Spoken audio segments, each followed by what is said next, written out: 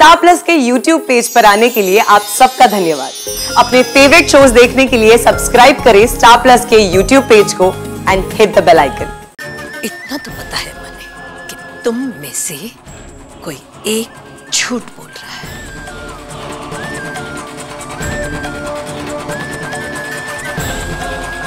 बेदमी तू तो भूसे की ढेर में से भी सुई ढूंढ कर निकाली है ना?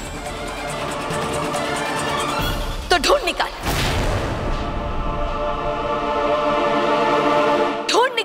इंसान ने जो इस नुकसान का जिम्मेदार है। चाहे फिर वो थारा ससुरो जी हो, ननंद हो, देवरानी हो, या फिर तू खुद क्यों ना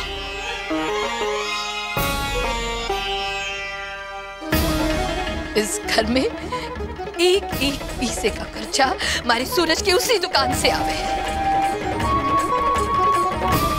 दिन रात मारा छोरा, भट्टी के आगे अपना पसीना बहावे जिस किसी ने भी, जिस किसी ने भी ये कांड किया है, उसने मारे छोरे के दिल पर चोट पहुँचाने के साथ साथ मारे घर परिवार के पेट में लात मारी है। इतनी बड़ी गलती को मैं ऐसे ही न छोड़ूँगी।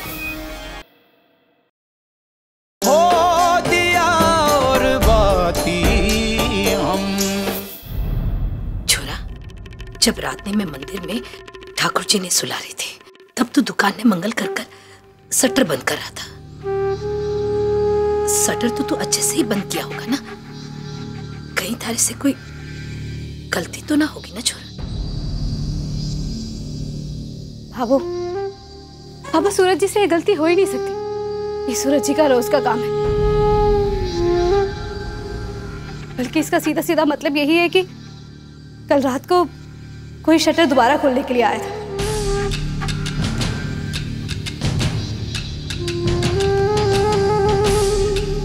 और वापस जाते वक्त उसने शटर ठीक से बंद नहीं किया।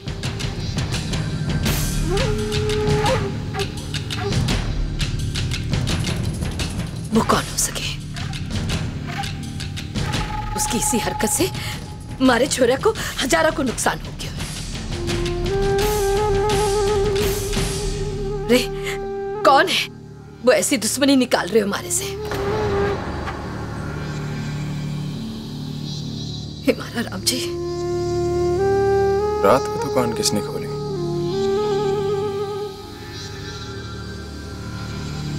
हाँ वो इतनी मेहनत से भैया ने इतना बड़ा ऑर्डर लिया था। इतनी मेहनत से इतनी तैयारी की, सब नाश पीट हो गया उसका।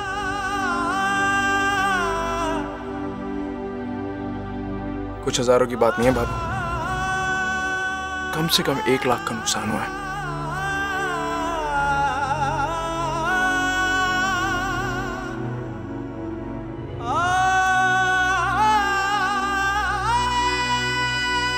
नहीं छोड़ूँगी उसे।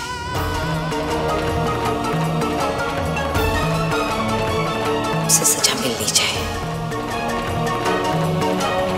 पुलिस में रपट लिखवा दूँगी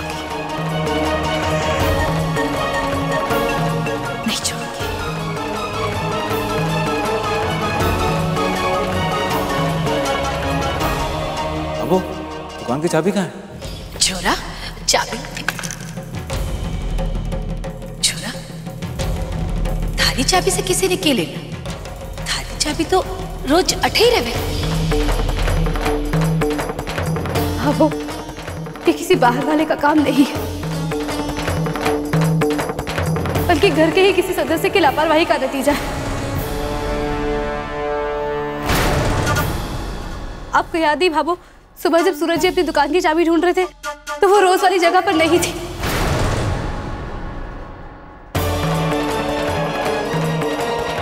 चतुरी ने कहीं और से लाके दी थी।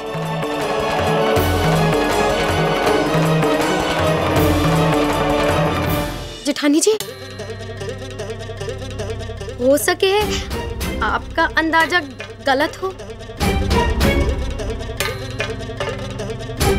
ये किसी बाहर वाले का ही काम हो। अरे भला ऐसा कौन है जो इतना बड़ा नुकसान करेगा ना? रही मीनाक्षी। बाहर वाला होता तो कुछ चुरा के जाता। लेकिन दुकान पर चोरी नहीं, बर्बादी हुई। है वो भी शटर ठीक से ना बंद करने की लापरवाही की वजह से। बाहर वाला होता तो उसे शटर ठीक से बंद करने की ज़रूरत क्या थी? ये जो कोई भी है, घर का ही है।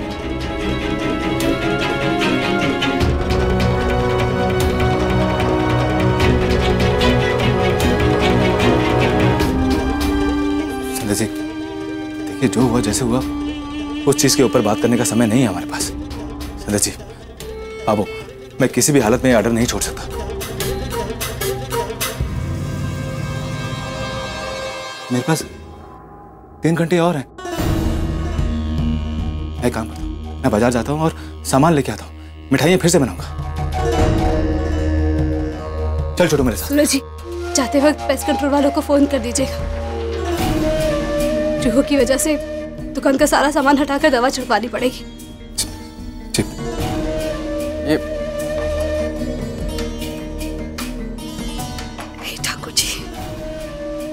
य- सब के हो क्यों?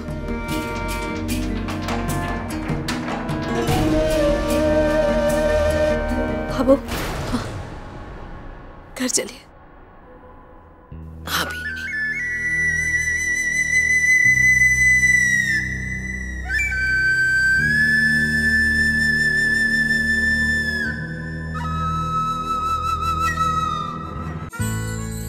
मेरे और अभिनव के प्यार की आखिरी निशानी एक दिन माँ की तरह वकील बनूँगी।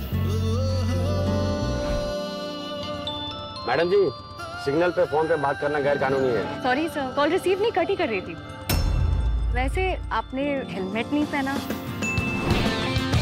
कल के दिन तू वकील बनेगी तो कोर्ट में जाके ऐसी दलील करेगी हाँ? सच ही तो बोला मैंने इसमें क्या गलत कहा? हे भगवान। ये ऐसी ही बोली है। कभी कभी सोचती हूँ आगे जाकर अभीरा अपने रिश्तों को कैसे निभाएगी? ये रिश्ता क्या कहलाता है? नई शुरुआत 6 नवंबर से रात साढ़े नौ बजे स्टार प्लस और डिज्नी प्लस हॉटस्टार पर।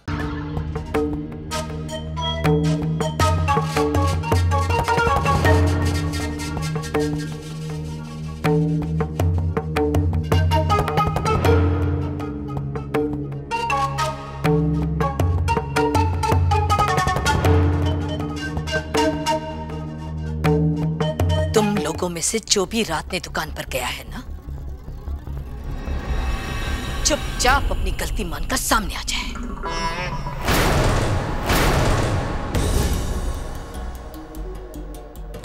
कोई ना बोलेगा।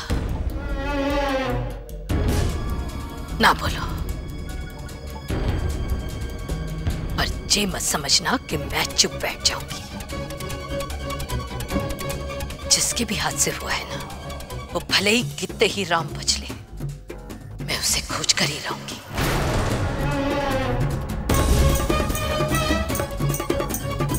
कौन है जिसकी लापरवाही की वजह से हमारे छोरे की दुकान में एक लाख रुपए को नुकसान हो गया? कोई भी सामान काम का ना रहा। कौन है वो? ये ना भूले कोई कि इस घर में सुई से लेकर कुर्ता तक सूरज की उसी दुकान की कमाई से आ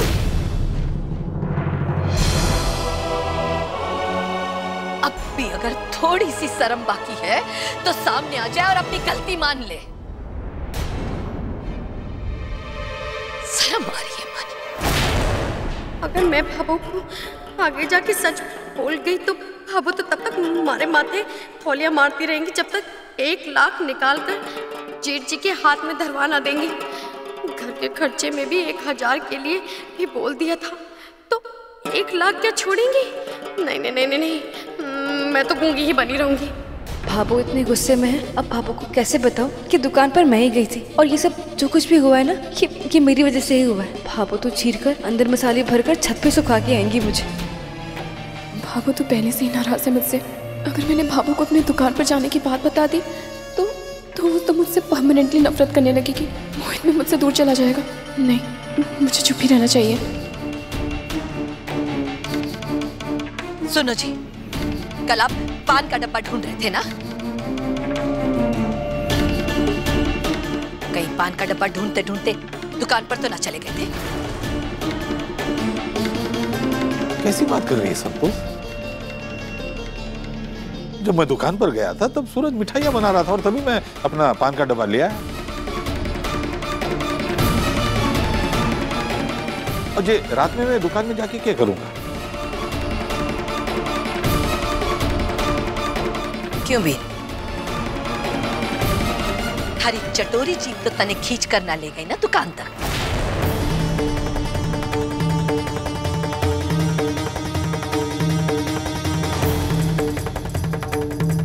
रे भाई गलती हुई है ना तो मान ले। नहीं नहीं नहीं नहीं मैं कहाँ गई? मैंने तो कुछ ना किया भाभो। काना के होने के बाद तो जैसे मैंने मिठाई छोड़ दिया हो।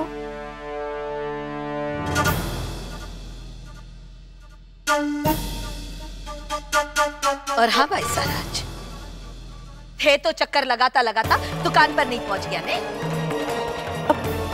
भाभो मुझको तो दिन में भी कुछ काम नहीं पड़ता।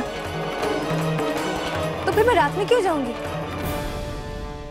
और वैसे भी कल तो मैं बहुत जल्दी सो गई थी। हाँ मुझे बहुत ज़ोर से नींद भी आ रही थी ना, और सर भी बहुत दुख रहा था।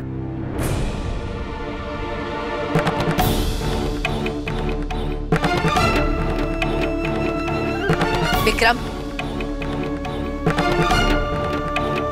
कहीं तू तो ना गया था ना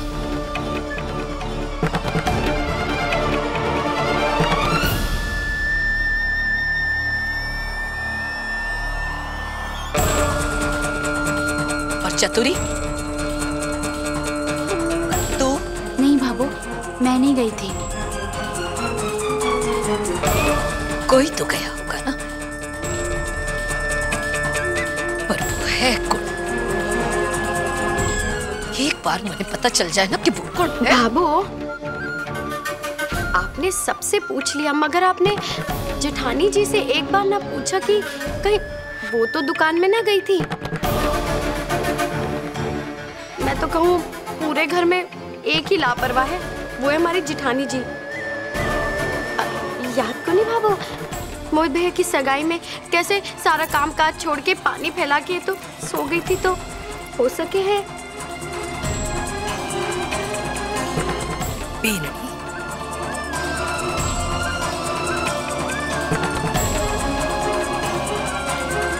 नहीं। बाबू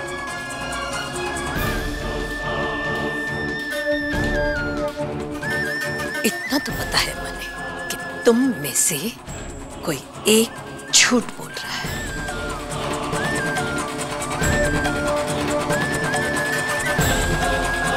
बेदनी तू तो भूसे की ढेर में से भी सुई ढूंढ कर निकाले है ना? तो ढूंढ निकाल। ढूंढ निकाल उस इंसान ने जो इस नुकसान का जिम्मेदार है।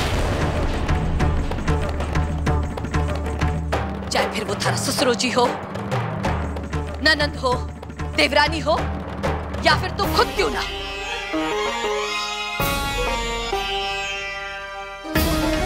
इस घर में एक एक पीसे का खर्चा हमारे सूरज की उसी दुकान से आवे। है दिन रात मारा छोरा भट्टी के आगे अपना पसीना बहावे। जिस किसी ने भी जिस किसी ने भी ये कांड किया है उसने हमारे छोरे के दिल पर चोट पहुँचाने के साथ साथ हमारे घर परिवार के पेट में लात मारी है। इतनी बड़ी गलती को मैं ऐसे ही न छोड़ूँगी। पर भाभो वो बेनड़ी तू तो बड़ी थानेदारनी बनती फिर है ना? बड़े बड़े मामले सुलझाए तूने। चमत्कारी शिवलिंग के पीछे सच के है। आतंकवादी ने पकड़ा है। पर आज आज धनपति की दुकान की बर्बादी करने वाला उस घर के बेदी को तन्ने मेरे सामने लाकर खड़ा करना होगा।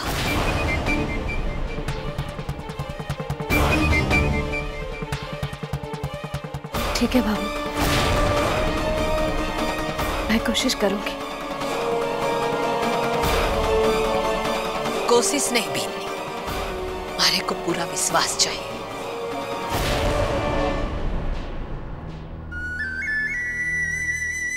एग्ज़ाम हॉल के सच के बारे में बाद में बात करूँगी बाबा से अभी सही समय नहीं है। ठीक है बाबू। मैं आपसे वादा करती हूँ कि उस इंसान को जल्द से जल्द आपके सामने ला खड़ा करूँ।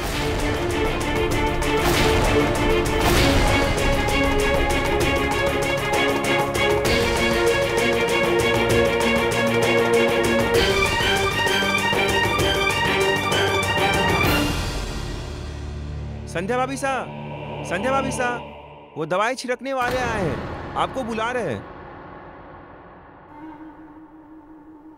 हाँ वो, मैं आती हूँ।